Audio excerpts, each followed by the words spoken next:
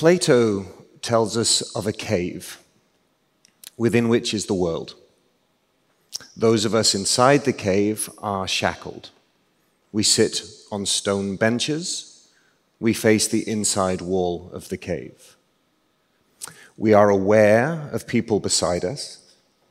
We're aware of people in front. To an extent, we're aware of the people behind us. We can't move. We can only look forward.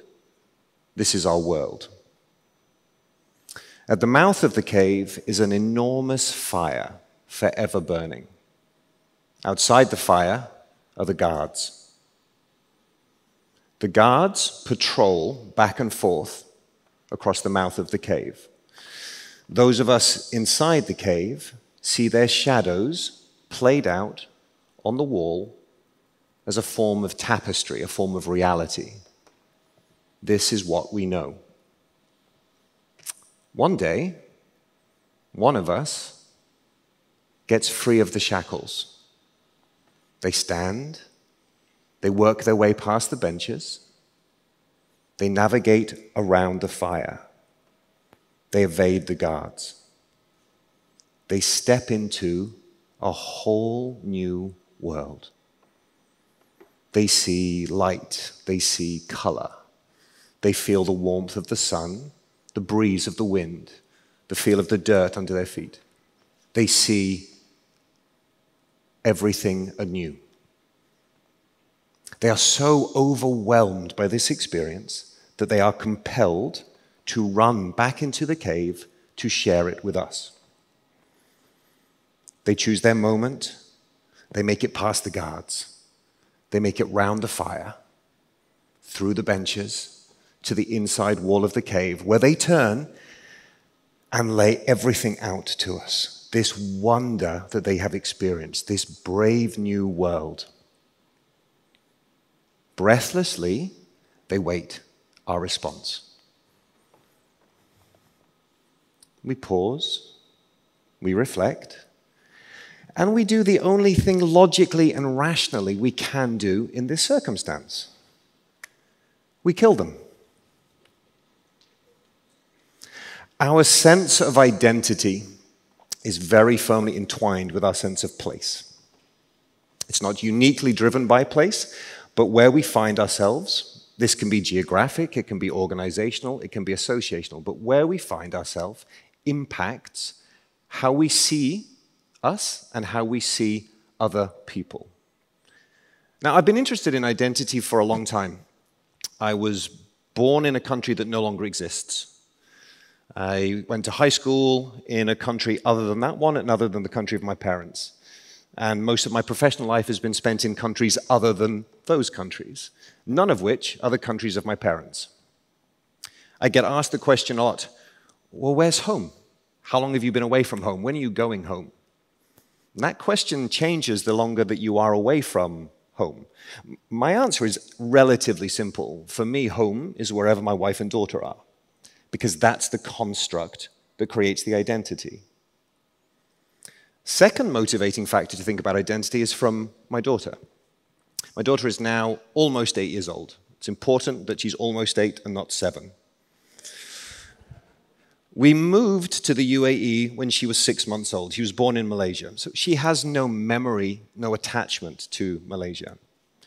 To the extent where if you ask her now, where are you from? She'll say Dubai. Her parents are not from Dubai. She wasn't born in Dubai, but she is from Dubai. When we were in the process of moving from Malaysia, we were looking at jobs, my wife and I, in many countries around the world. Both my wife and I have moved around a lot, and we're quite comfortable with this. And it really struck me thinking how different our daughter's life would have been if we'd moved to a country other than the UAE. This is not a better or worse judgment, this is simply a question of difference. Had we moved somewhere where it snowed or rained, or if we'd moved to an inner city rather than a suburb, and then I started thinking that's not actually the question.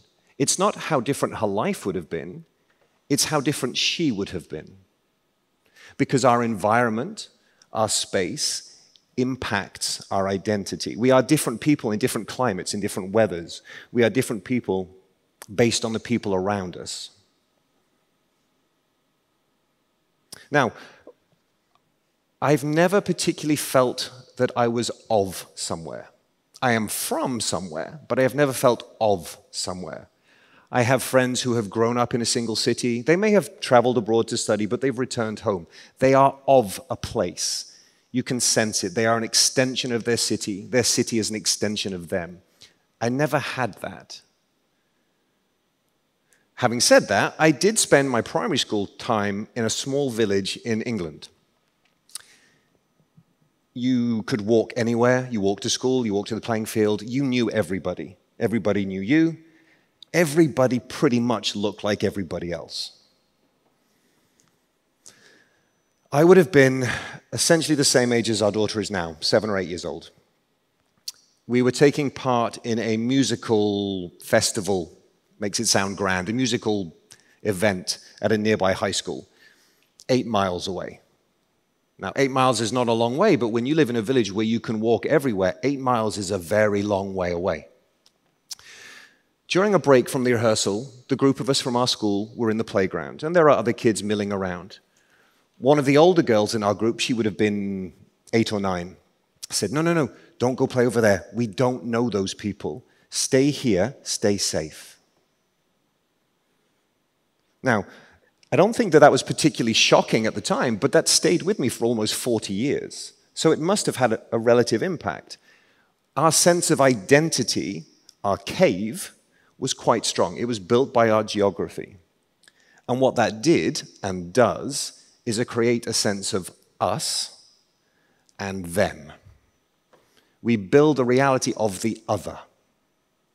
Now, contrast this to uh, my daughter, who grows, uh, is growing up in a multicultural, international environment, where in a class of 25 kids, most are one of one. Now, when everybody is foreign, nobody's foreign. It changes your perception. It changes the way you see yourself. It changes the way you see the world around you and how you relate to that.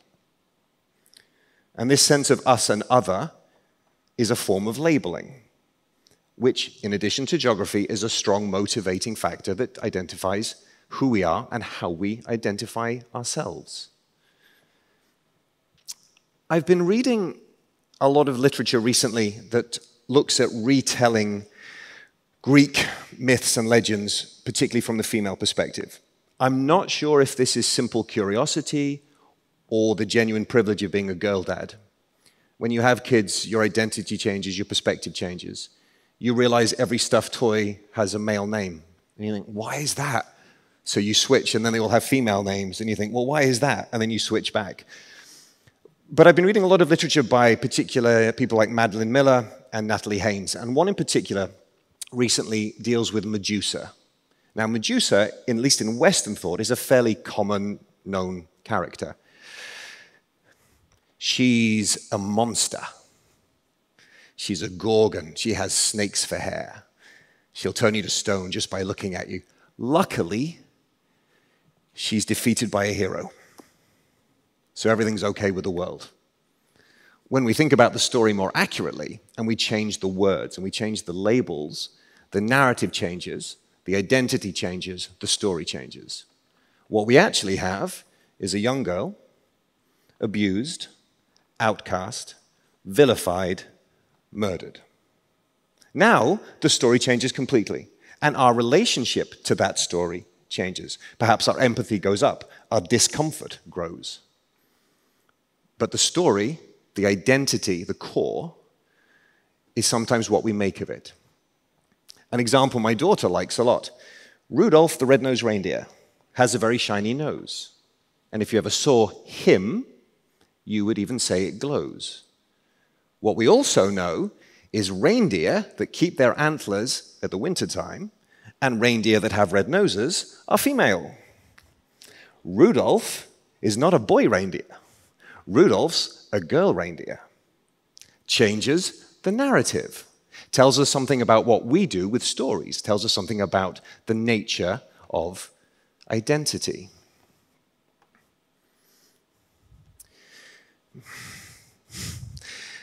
It's interesting, I think, as we get older, we become perhaps more fearful. We become more risk adverse. We want things to be simpler. We have more to lose, perhaps. We become more comfortable with the cave. We become more comfortable with the constructs of the way we put labels on things. These labels, however, over time, like bricks of a cave, create a narrative arc that we conform to. We buy into the reality of what we are called or what we call ourselves. So if you are a mathematician, that gives you a sense of what a mathematician should do. Right? If you are a baker, if you are a doctor, if you are a professor, if you are tall, if you are short, we buy into the narrative of what we believe this should do. And over time, we simply conform to it. Some of these labels we may actively chase. Some of these we may inherit. Some may just be forced upon us. But this narrative arc is a constraint, it is a cave within which we live. At times for security, at times for stability, at times just for peace. And other times, it's a set of shackles. As you become a parent, your perspective changes, your identity changes, you have something else which is a priority. Even what you are called changes. You lose the sense of who you are, you become her dad. In the school playground, I don't know any of the parents' names, but I know that she's his mom or he's her dad. It shifts. And what's really interesting with children is you can see how they try identities on for size. So we read Sherlock Holmes, and my daughter starts investigating these crimes around the house, usually perpetrated by the cat. We read Pippi Longstocking, and she starts sleeping upside down in the bed. We watch Back to the Future, and now she's playing air guitar and skateboarding. She's not any one of these things uniquely, she's all of these things at the same time. I'm not quite sure at what point we lose that. How we label ourselves and how we identify ourselves these markers that are often character driven, but then we push out into the world as a way of defining ourselves and understanding, such that we are seen by other people in a very particular way. We do this as adults. We put an image out into the world. That's how we are recognized. That's how we recognize each other. Becomes more singularly defined. But why can't we have a cave with many rooms? Why are we so easily defined by ourselves and by others? I was curious about this, so I asked my daughter, What is it you want to be when you grow up? And she said, A lot of things. Uh, I want to be an author, um, baseball player, ballet dancer, actor. And I said, Not sure you can be all of those things. And she said, Why not? I already am. And as in most conversations that you have with kids, you don't have the right answer to that type of wisdom, other than to say, no, no, no, you need to live in a cave with one room. Why?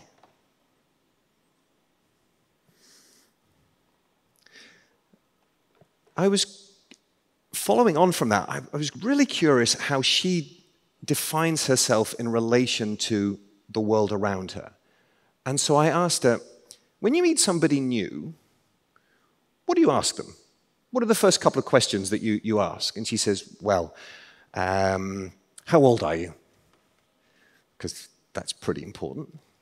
Do you, have you got any pets? What are your pets' names? You got any brothers and sisters? What are their names?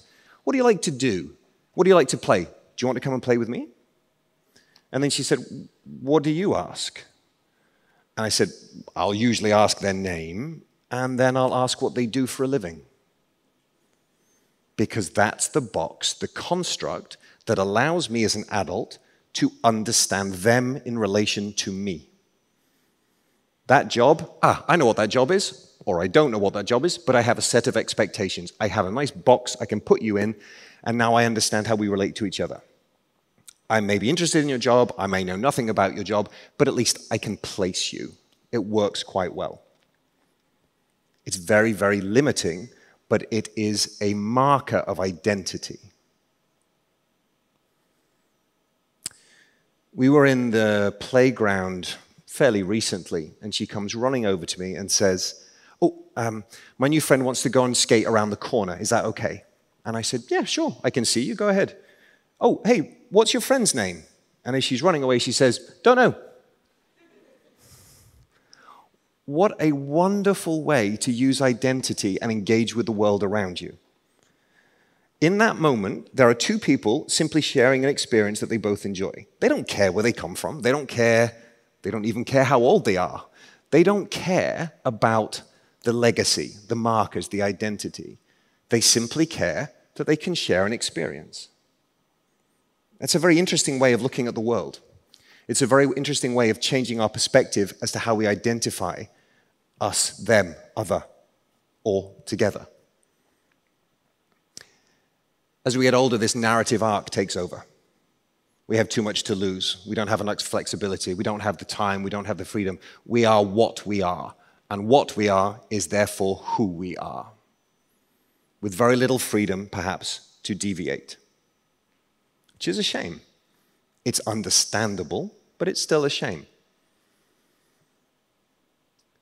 When I was leaving Malaysia, I'd been with the same institution since I was 18 years old. I genuinely assumed I would be with that institution until I retired. That was who I was. I was a part of this organization. That was my identity. And like that, it was gone. I was no longer a member of the organization. That was a very difficult thing to understand because that had become my identity.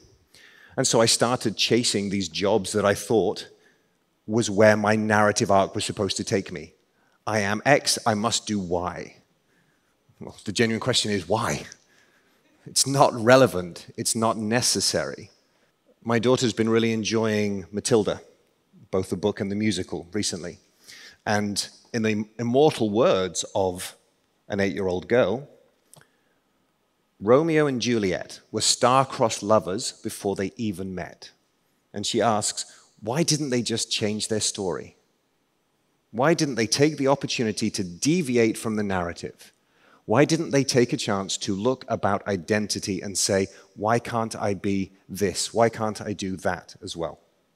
I think it's important that every now and then we take the opportunity to step outside the cave. We take the opportunity to perhaps try to change our story a little bit.